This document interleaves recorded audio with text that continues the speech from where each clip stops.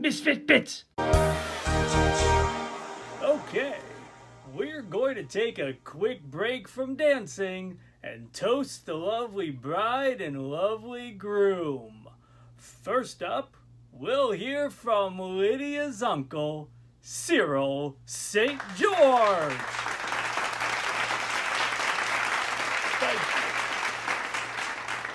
you. Lydia, I remember holding you when you were but a wee little one. And look at you, all grown up and in love with Mark. You know, love.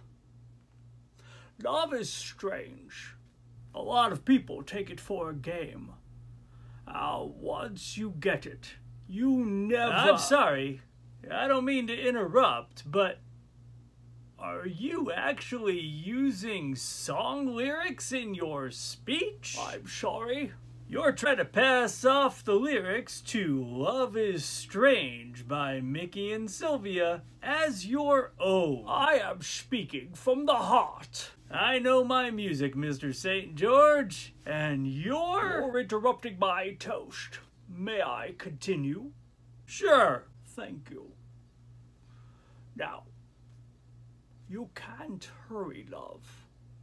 No, you just have to wait. Mister! When a man loves a woman, all you need is love. Love is a many-splendored thing.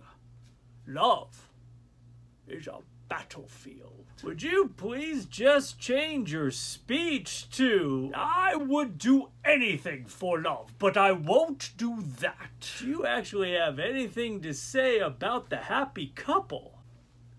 I believe in a thing called love. Mr. St. George! If you interrupt me one more time, I'm just asking you to...